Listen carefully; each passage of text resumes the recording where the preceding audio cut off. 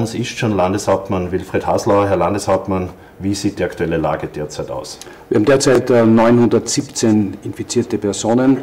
866 davon sind äh, auffällig in Salzburg, 42 sind bereits genesen, also das nimmt jetzt äh, doch signifikant zu. Leider sind neun Personen verstorben. In der Intensivstation sind ebenfalls neun Personen und 63 Personen sind im Krankenhaus in Behandlung.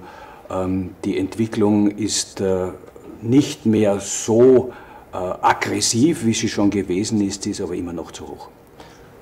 Sie ist sehr hoch, sagen Sie. Gibt es schon eine Entscheidung für die Quarantänegemeinden? Ja, wir haben jetzt in intensiven äh, Gesprächen eine Entscheidung getroffen. Sie müssen ja sehen, dass man nicht nur nach der absoluten Anzahl an positiv Infizierten vorgehen kann, sondern diese Anzahl auch ins Verhältnis setzen muss zur Einwohnerzahl der betreffenden Gemeinde, ins Verhältnis äh, setzen muss zur Anzahl der Testungen, die durchgeführt wurden, dort wieder wie viele positive, wie viele negative, welche Dynamik war in den letzten Tagen.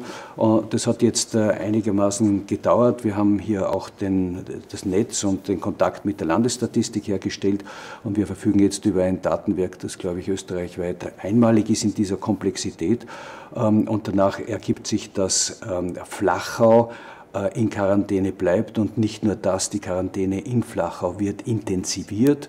Dort wird es äh, keinen Berufsverkehr mehr geben können. Äh, ausgenommen sind natürlich die wesentlichen Versorgungsfahrten für Lebensmittel, Treibstoffe, Heizmaterial, Medikamente etc.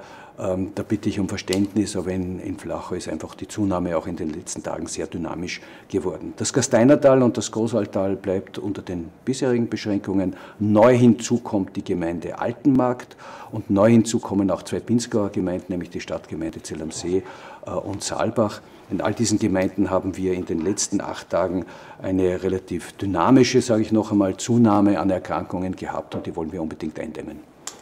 Ganz wichtig an dieser Stelle für die Bürgerinnen und Bürger ist die Versorgung sichergestellt, auch die medizinische Versorgung? Die ist absolut sichergestellt, also da braucht sich niemand Sorge machen.